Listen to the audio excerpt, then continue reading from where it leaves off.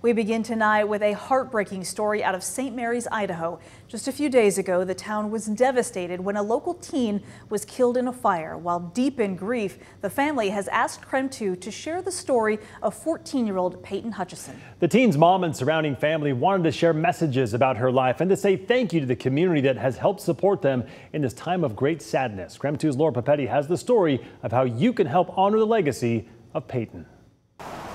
In a small community like this, everybody's hurting. Surrounded by trees and nudged against the St. Joe River, the town of St. Maries seems so protected.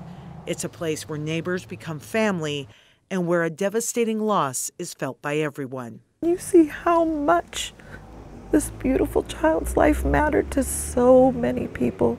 The flowers are laying in honor of 14 year old Peyton Hutchison. The high school freshman was home on Sunday night, Mother's Day, when an electrical cord caught fire. The family says Peyton's mom ran to the store for just a few minutes and came back to this her daughter trapped inside a fire that moved swiftly through their home. Despite efforts, no one was able to save Peyton. Peyton's aunt and a family friend sat down with KREM 2 to talk about the teen, wanting to spread the love and light that Peyton gave all of them always smiling, like always smiling, and just lit up the room. You just mm-hmm. couldn't help but love the child because just had the purest soul.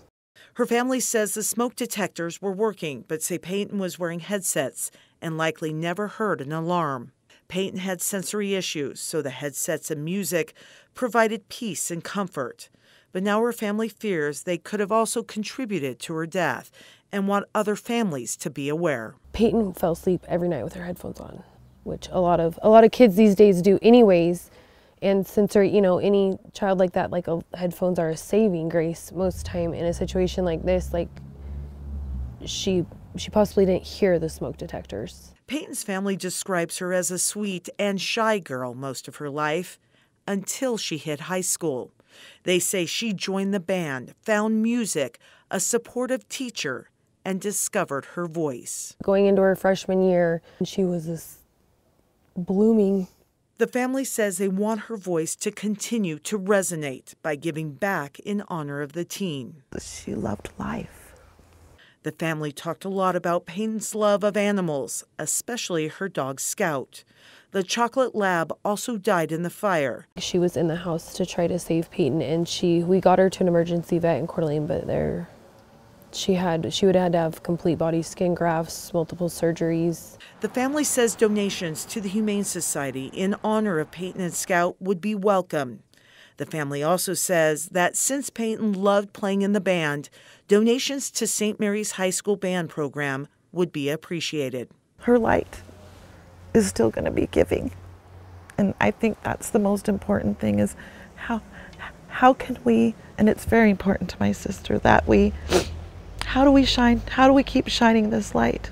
The family is adamant that Peyton's story be motivation for positive and that whatever lessons can be learned from the fire come later. That now, they say, is a time to be thankful for the 14 years that Peyton was here and thankful that there is a community that loved her and now grieves with the family. Reporting in St. Maries, Laura Papetti, KREM 2 News. We also want you to know the family is wanting to start a scholarship program in her honor, and we'll have more information as that just as soon as we learn it.